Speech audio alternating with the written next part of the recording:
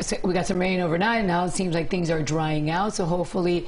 Lissette, how long is? I mean, we really we did need the rain. We did to maybe cool off a little bit. So yes. eh, it was It was, it was a hot and hazy. Yeah. Yeah. Yeah, it was welcome. really hot and hazy the past few days, and it almost was uh, nice to have some wet weather back in to bring us a little bit of relief this morning, although not the best of timing, right? The morning rush.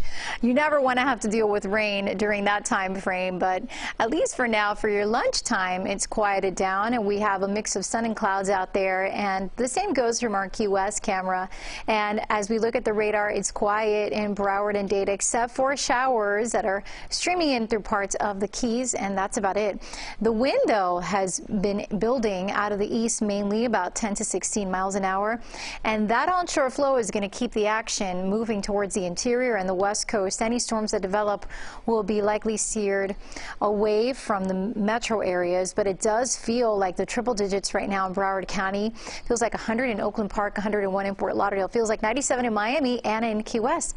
And here's our newly formed tropical depression number nine. It is not a threat to South Florida. A little close for comfort, if you ask me. But of course, uh, we will be watching this, and all of the northern Gulf Coast will closely be monitoring this because you'll see once we take a look at that forecast cone. Although right now it's a depression moving northwest at 13 miles an hour. Tropical storm warnings issued for Grand Cayman Islands and parts of Cuba.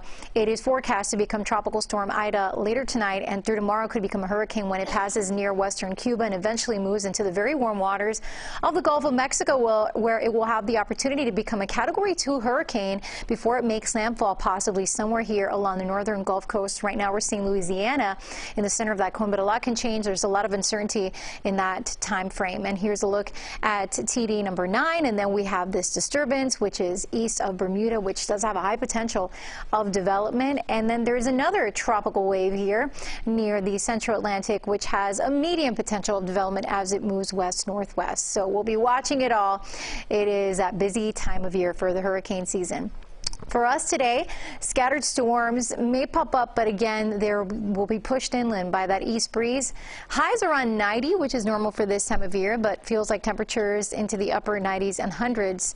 Now, if you're heading out on the water boating, winds east to 15 knots, seas 2 to 4, and a moderate chop on the bays. Our sunset at 7:46 p.m. And tonight there could be passing storms as we still have plenty of moisture, and that upper level low continues to move across the area. And you'll see from the moisture forecast that we'll stay on the breezy side at times tomorrow, and we'll have enough moisture around to produce some spotty storms, although the weekend isn't looking like a washout at all. But highs will remain hot, but typical for this time of year, around 90 degrees all the way through the weekend and early next week. Ladies.